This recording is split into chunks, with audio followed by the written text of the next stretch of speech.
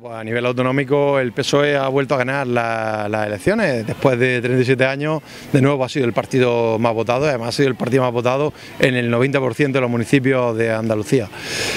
Las políticas del PSOE se fundamentan en la igualdad, se fundamentan en una educación igualitaria para todos, se fundamentan en una sanidad también abierta a todos los andaluces y andaluzas. Se fundamentan en la universidad gratuita para los estudiantes, las matrículas de solo 7 euros anuales cuando antes costaban 1.500 o cuando en otras comunidades cuestan 1.800 o 1.900 euros.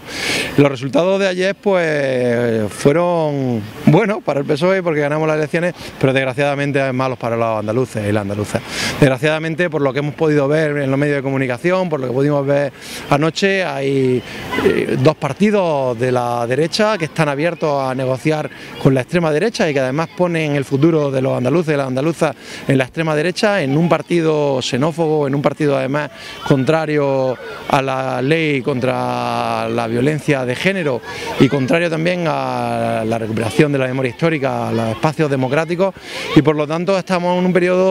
desgraciadamente, de inestabilidad. No sabemos lo que va a suceder en los próximos días.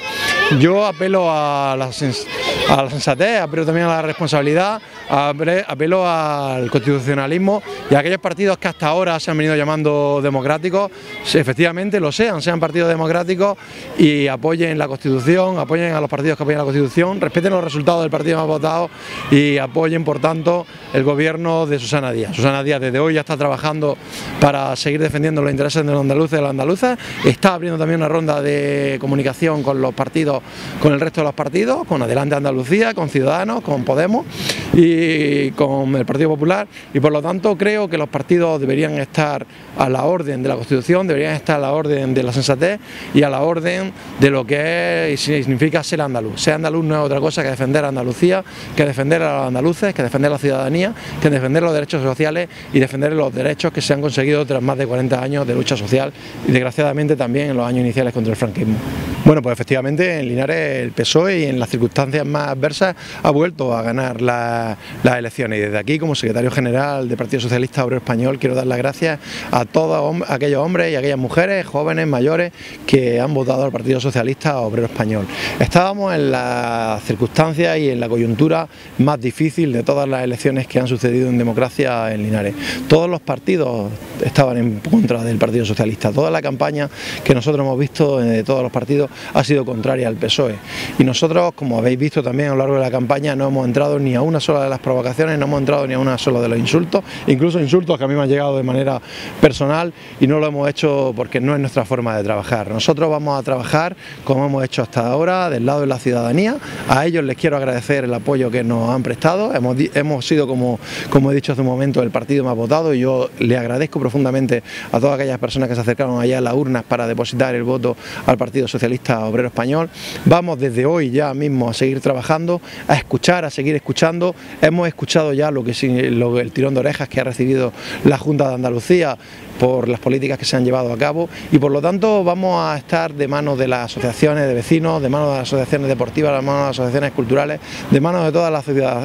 ciudadanía de Linares, vamos a hacer va puerta a puerta, barrio a barrio, escuchar las necesidades de los linarenses, de las linarenses y que no le quepa la menor duda a ninguno de que nos encontramos muy orgullosos de los resultados que hemos sacado en Linares, seguir siendo el partido más votado pese al enfrentamiento, a la confrontación de todos los partidos con respecto al PSOE, es mucho dice mucho de la ciudadanía de Linares, dice mucho de los valores socialistas y por lo tanto en ese ámbito, en el ámbito del futuro, en el ámbito del trabajo, nos vamos a seguir encontrando. Más de 2.000 votos que ha sacado Vox en Linares dan mucho que pensar.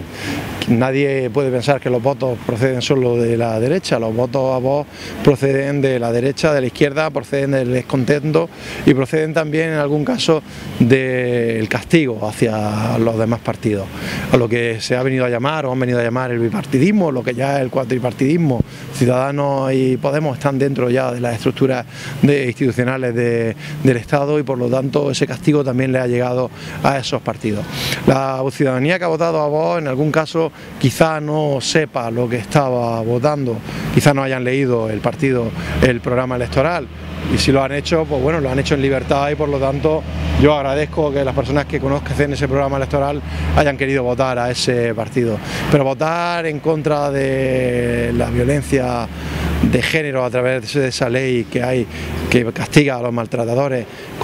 votar racistamente, votar xenófobamente, votar en contra de la Constitución, como recoge el programa electoral de Vox, no creo que sea lo que la gente quería votar. De cualquier manera, nosotros vamos a seguir trabajando, como te he dicho antes, por recuperar el voto de aquellas personas que votaban al Partido Socialista Obrero Español y que quizá por nuestra mala gestión en algún momento pues han dejado de hacerlo y que aspiramos a recuperarlos, como no puede ser de otra manera, aspiramos a recuperar también a los simpatizantes y a los militantes que dejaron de hacerlo en los últimos años en el Partido Socialista Obrero Español y el voto de castigo que representa vos aspiramos a recuperarlo. ¿Por qué? Pues porque vamos a estar al lado de la ciudadanía, vamos a estar al lado de los hombres y mujeres que necesitan nuestra labor, que necesitan nuestro apoyo, que necesitan las ayudas sociales, que necesitan el trabajo nuestro para que lleguen empresas sólidas a Linares y que necesitan que Linares tenga un futuro cierto, no un futuro incierto, un futuro seguro, no un futuro inseguro y un futuro en el cual el socialismo, como ha sido a lo largo de los últimos años,